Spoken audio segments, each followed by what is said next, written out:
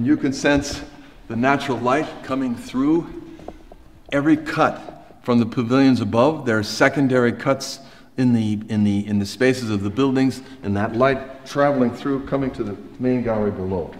And you can see this sort of active light from the sun and the wind blowing in the water above.